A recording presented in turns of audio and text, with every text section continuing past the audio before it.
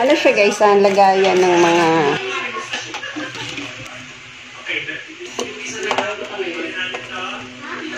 So yun guys, linag yan. Ito na yung aking biniling ano, lagayan. Maganda siya guys kasi umiikot. So umiikot.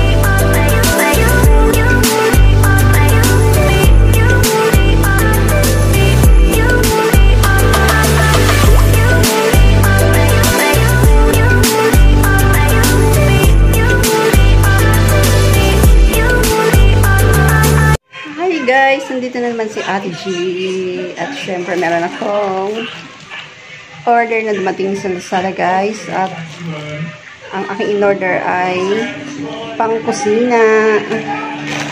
Ito na siya guys. Bubuksan na natin. Ganda na packaging. Madali lang siyang buksan.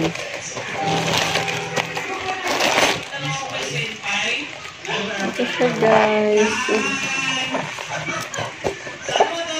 Ano lang bulletin? Ito po, kukuha ko ng bulletin.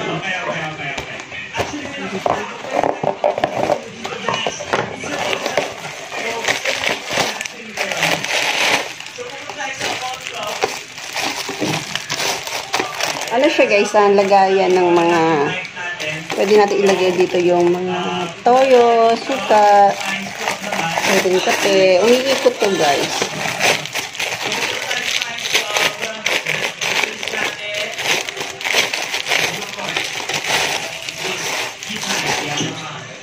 So guys, so, pag nilapag natin ganyan guys, umiikot.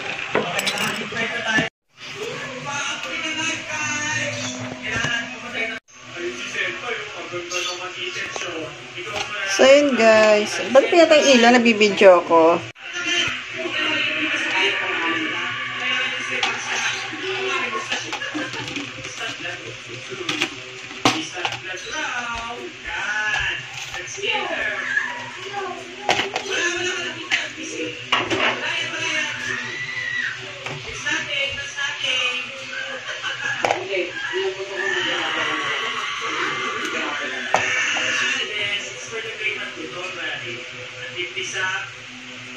Throw it here. O.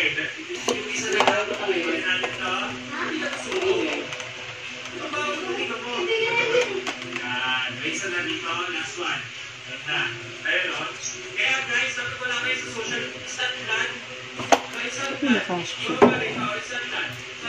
guys,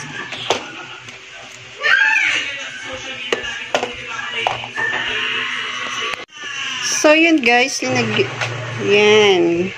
Ito na yung aking biniling ano, lagayan. Maganda siya guys kasi umiikot.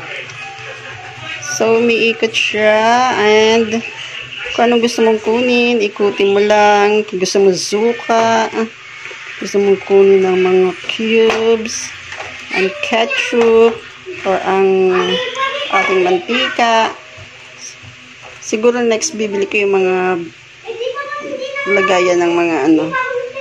Ito muna ang aking nabili guys. Yan. Para organize ang ating ano. Ating lagayan. Tapos dito ko siya ilalagay.